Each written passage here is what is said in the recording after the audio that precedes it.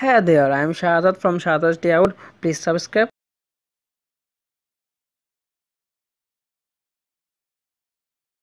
Today I am going to review the slow motion of iPhone XS Max. Let's see how much process Apple made in terms of slow motion video. Comment on what you want to see next and give me thumbs up if you like the video. Now I am bringing you the slow motion video of iPhone XS Max.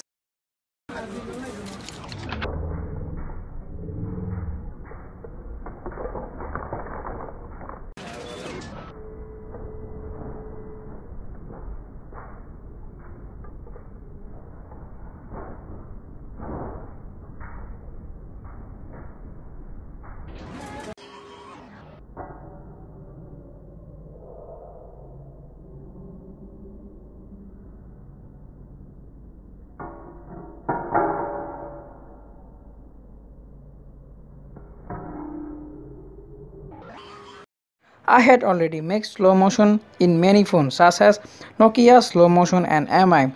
Check out description line. Don't forget to subscribe and share. Your support means a lot to me.